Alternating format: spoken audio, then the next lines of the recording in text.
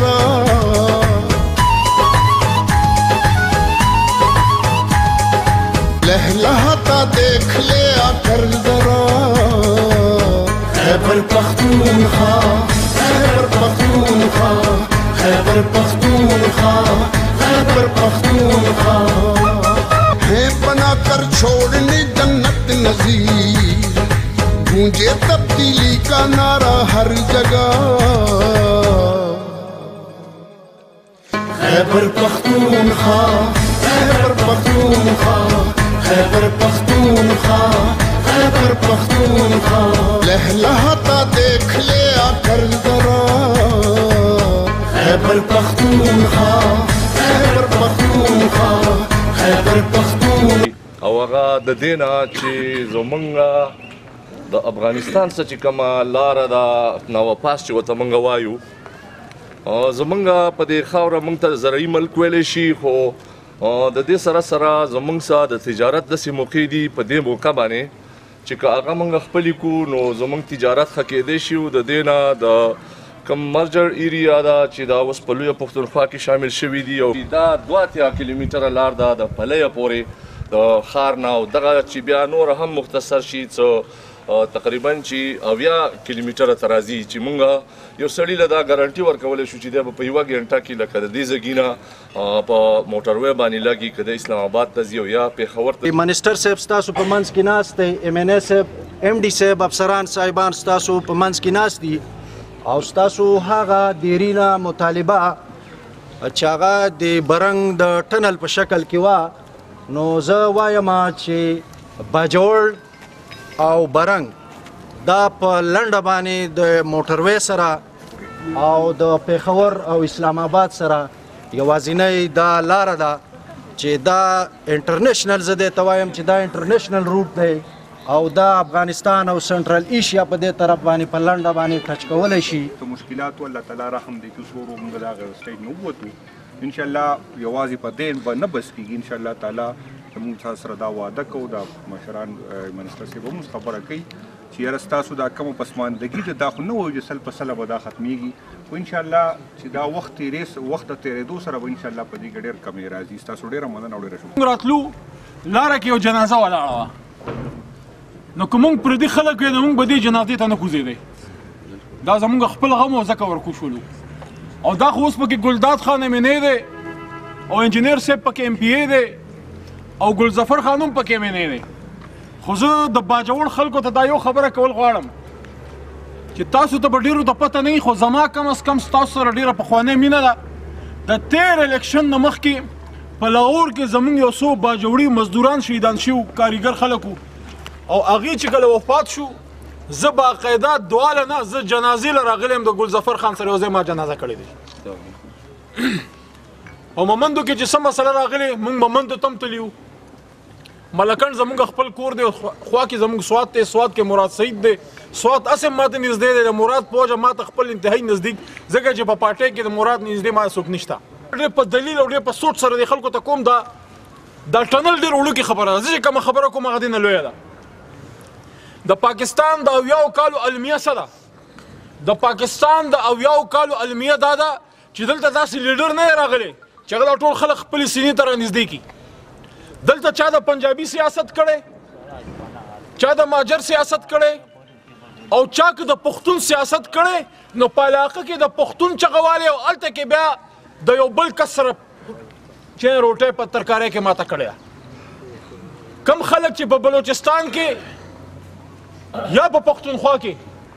د پښتون د لوی درون صدر روالي او د غاړې نه راتاو کی زه دا غینه دا تاسو کوم چې ته بیا لاړ شې نه ته بیا د نواز شریف سره یو طرف ته وای چې پنجابي استعمار د منم او بل طرف ته بیا زه یو د نواز شریف سره بیا په یو تالی ناسې نه ته ماته دا وای چې التری شاوه په ریوند کې ریشاوه او کنه په مومندو کې ریشاوه او کنه په نارت وزیرستان کې ریشاوه او کنه په چکزیو کې په بلوچستان کې ریشاوه نو بعضې ملګرو عمران خان صاحب له دا مشوره ورکړه چې صاحب که ته دا خبره کوې داسې نه چې پنجاب د نه خفه شي او مونږ خو تا وزیر اعظم لیدل غواړو داسې نه چې ستا دا ووټ ستا خلاف پریوزي نو که پنجاب ستا خلاف شي ته بیا وزیر اعظم څنګه جوړیږي موږ وطن ټیک کول غواړو چې ته وزیر اعظم نه جوړیږي نه بیا به په موږ دغه نواز شریف او دغه زرداری دا ډاکوان او دا د ملک د فراریان په موږ باندې حکومت کوي عمران خان هغه جواب درته وویل عمران خان دا خبره وکړه وی یہ بات چھوڑو کہ آپ کی بات کا اثر کیا ہوگا لوگ کیا سوچیں گے بس یہ دیکھو کہ تمہاری بات سچی ہے ٹھیک ہے کہ نہیں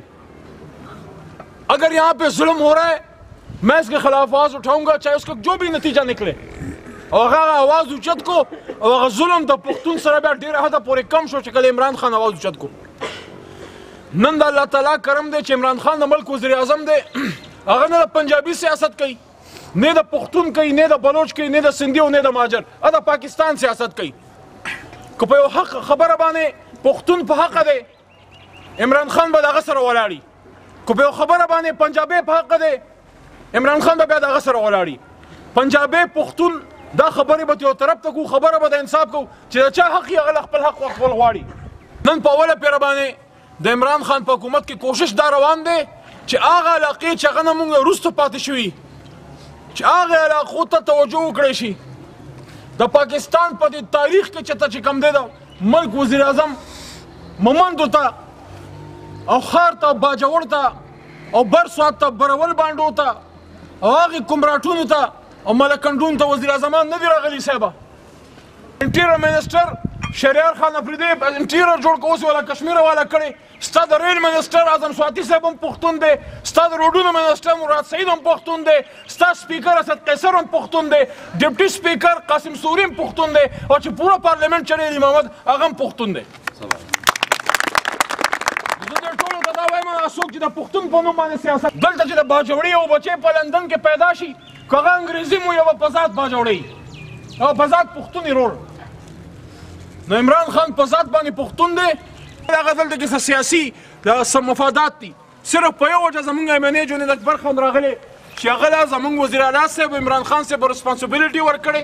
چې د خیبر پښتونخوا پښتانه ایم ان ای صاحبان چې کم دي د هغوی مسایل عمران خان صاحب سره او وزیر اعلی صاحب سره ټیک اپ کول د ده ذمواري ده او چونکې یو علاقه ده متصل ده نو صرف ټنل نه صرف روډ نه زمونږ د راتلو بنیادي مقصد دا دی چې د باجوړ نورې مسلې هم چې څومره دي که دلته د سکولونو مسلې دي که دلته د هسپتالونو مسلې دي که دلته د روډونو سره سره نور ستاسو د لا اینډ ارډر مسلې دي دلته یونیورسټۍ پکار دي دلته تعلیمي ادارې پکار دي دا نیګلیکټډ دا اراده دا علاقه پاتې شوې دلته ایجنسی پاتې شوی دلته لا ان اورډر مسلې پاتې شوی دلته خخه دفترې خخه ادارې خخه یونیورسيټیز هسپټلز دار سره دلته پکار دي د هغې لپاره به موږ کوشش کوو چې وختاً فوقتاً زه زموږ ملګري راځي لنډ وخت کې جنید خان خبره کوله اسد عمر صاحب کې دي شي راشي او ان شاء الله موږ به وزیر اعلی صاحب تاسو له بار بار د علاقې ته راولو چې مختلف اعلانات پې کوو چې زموږ باجوړ چې باجوړ د مردان او چارسدي او پیښور سره او د منګور سره یو برابر شي په ترخه کې چې د دې ځای بچي خاص کر زنانه دغه رونو ته وایم چې ستاسو یو ایم ان ای نه دی ستاسو ان شاء الله بلا ایم ان ای ګان دي زما په اسلام آباد کې د پارلیمنټري افیرز چې کوم دفتر دی د وزیر اعظم شکایت سل چې کوم دفتر دی او په حجره کې زه هر خالي اتوار ناست یم ستاسو زما حجرې ته زما دفتر ته د جنید خان ځای ته دغه حجرې ته اني ټایم راتلی شي زموږ په کاته کې دا نشته چې دلته نه یازه ووټ علم یا نه علم دا زموږ ټول یو پښتونخوا ده یو علاقه ده. سو میټر زمونږ نه کیلومیټر ته رسي ډیل ته رسي نو زما په خیال سره چې دا بیا هیڅ نه دی دا غي وجه دا ده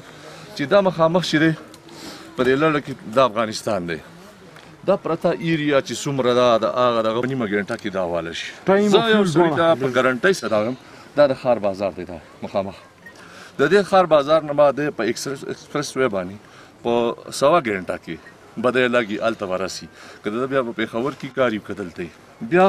دا روډ ډیر ښکلی جوړ شوی یو سړی دا ویلی شي چې برکت صاحب ویلی شي چې دا خو ډیر ښه روډ دی نو دا هسې نه دی دا ټاپ چې دی دا زمونږ سره د کوه مور چې په پنځه شپږ غرونو کې د پاکستان په هایټ باندې دی دی نه مونږ لیفټ چیر د پاره دغه کړی لکه یو سکیم دی او هغه ته روډ هم اچولی دی 8 کیلومتر د چیپ صاحب په کې کو چې هغه ټاپ نه ښکاري د کورونه جی جی جی دیزی پوری به روټ لاړ شي زمونږ او هغه نه مو ته بیا زنګوګانی ولګي چې دا څومره دا خلک دی د باجوړ I think it is worth a try just try it او یو کالو کې چې کم دین او باجوړ ته داسې ریلیف یا داسې سہولت نه راغلی یاره زه زه چې کوم دی د ګلداد خان د دې مخ د برکت وایم چې دا شی ورکو ان شاء الله ان شاء الله